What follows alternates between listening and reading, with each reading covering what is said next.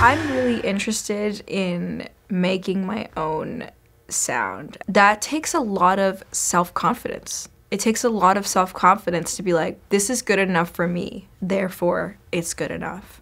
And when I went to business school, ironically, one of the most powerful lessons I took away was trusting my own intuition and believing in my own ear. And I wear, um, you know, this is the merch that we sell at my shows. It says "Own Your Voice," and that's not only a message for marginalized communities, for young women who, in this in this era of Me Too, we are conditioned to not speak up and not trust our own voice, not trust our own intuition.